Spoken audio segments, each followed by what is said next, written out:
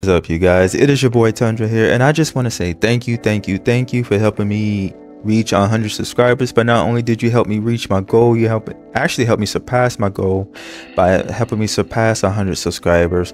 You guys have been killing my like goal of 10 likes and on one of my videos you guys helped me reach 30 likes. And even on my last clip that i posted you guys helped me you know just tremendously and i love talking to you guys in the comments below. You know i love what you guys have to say. I love hearing your guys' theories. So i just want to take that time out to say thank you all so very much before the video starts.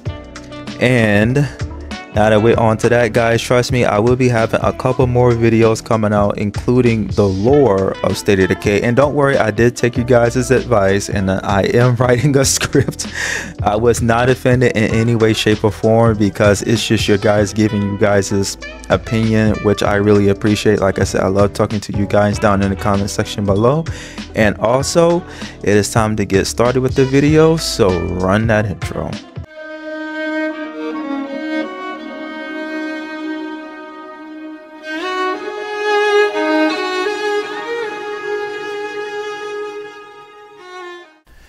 Alright, so what we're going to be talking about in today's video is ways to help make Daybreak a lot more better and fun for us.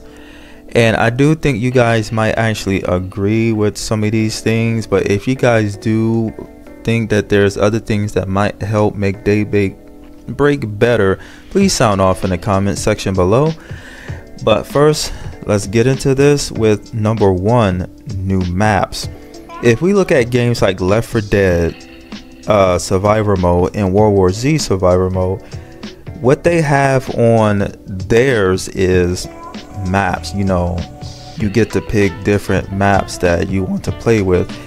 And without a question, State of Decay does need new maps as it will help bring in people and have people continuing to play if we can select different maps. So I just want to say I think number one what we do need is new maps. If you guys agree, let me know down in the comment section below. Now, number two, challenges. Again, if we're looking at something like World War Z, it's not hard to see why that mode carries the game because the game itself has more than one way to make people play. It has some challenges that make people want to try to complete them while they try and survive for as long as they can so they have money to pay for items to survive. And I do think that is a feature or something that needs to be added to State of Decay to help make us want to play the game which is challenges to also do while we are surviving. Number three, more influence for completing the game. Guys, this is the most annoying thing in the world to me. I will say this playing Daybreak, it does get boring, you guys. It really does, especially when you're only getting a little over a thousand influence.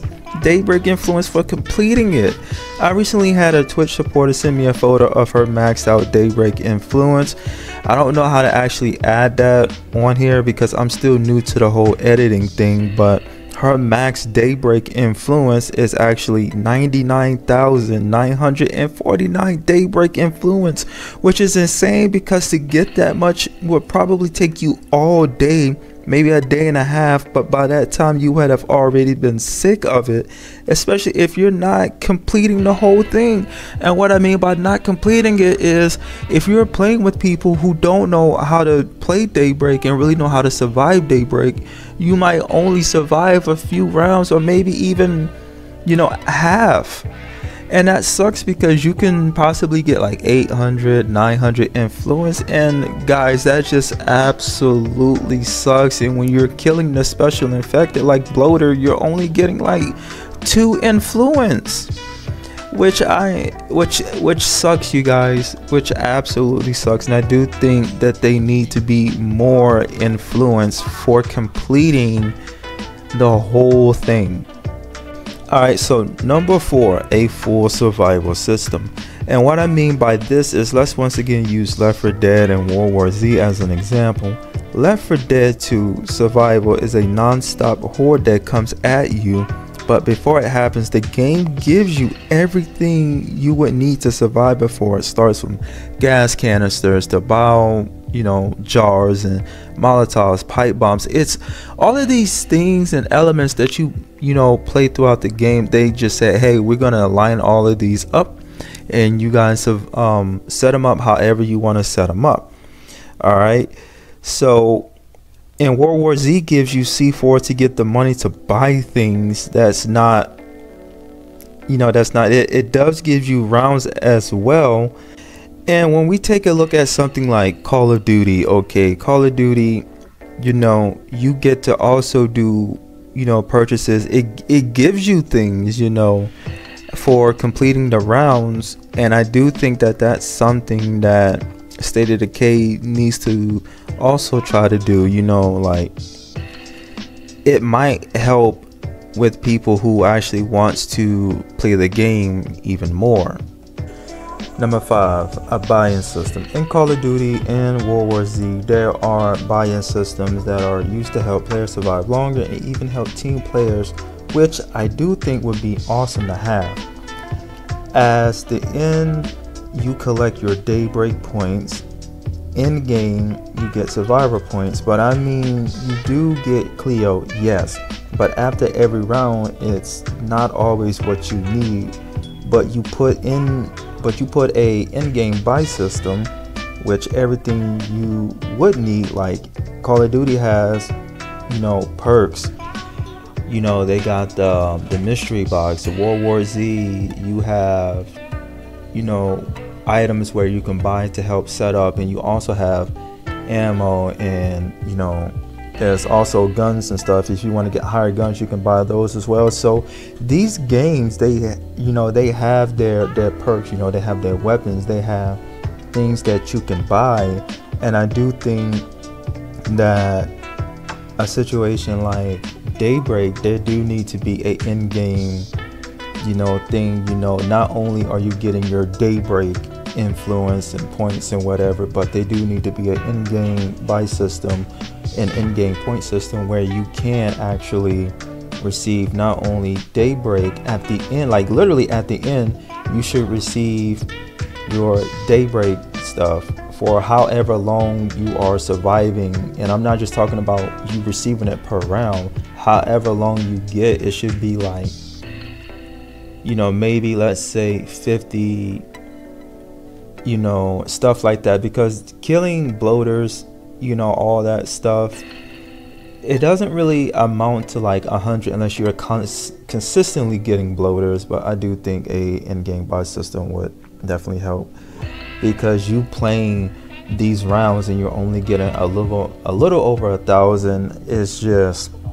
you know a lot of people just don't see it as worth it but we play daybreak for the points but we can barely get over that. And then you go play the main story where you end up spending it all by buying you know red talent stuff. And you know if you want to get a red talent uh, operator or soldier that's gonna cost you a lot. Like just to get two of them you would have to play about five six games just to have a little over you know something left over for you to see but I do think Undead Labs might need to try to do something, maybe new maps, maybe in-game boss systems and stuff like that that might actually help out and bring people in to want to play Daybreak because I do think Daybreak is good and it can be fun, but they had to take that step in trying to do what they can do to make it fun and you know make it fun for the players because like i said at the end of the day you're not really receiving a lot. And i know it's supposed to be a challenge but like i said at the end of the day we're not receiving a lot you know uh, daybreak influence which is crazy because like i said if you want to play the main story you want to do all this crafting and you want to buy your operators it's gonna it's gonna cost you know but I do think Undead Labs might want to try to do something because we don't even know when we're getting State of Decay 3. You know, we don't even know if we're getting it this year. We don't know if we're getting it next year. So why not try to do something to make Daybreak fun for people? You know, but that's my take. Y'all let me know down in the comment section below what do you think, you know, what make it fun for you guys? What do you think Undead Lab should add to Daybreak or do you think they shouldn't add anything at all and that is perfect the way it is, but you know, let me know down in the comment section below. I would love to have a chat with you guys about this and I will talk to you all later.